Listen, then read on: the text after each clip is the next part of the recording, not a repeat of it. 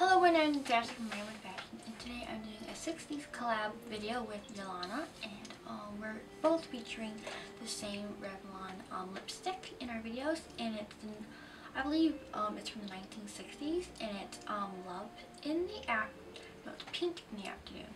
I'm mixing up my Revlon lipsticks. It's 4.15, and it's Pink in the Afternoon, and it's from the Super Lustrous Cream Lipstick collection and it's really nice of my favorites. And as you can tell I'm just about halfway done with it so soon not to pick up a new one. And um hope you all enjoy this video. And be sure to check out Yelena's video which I'll have linked down below her video and her channel. Be sure to check I'll see you on my next video. Bye everyone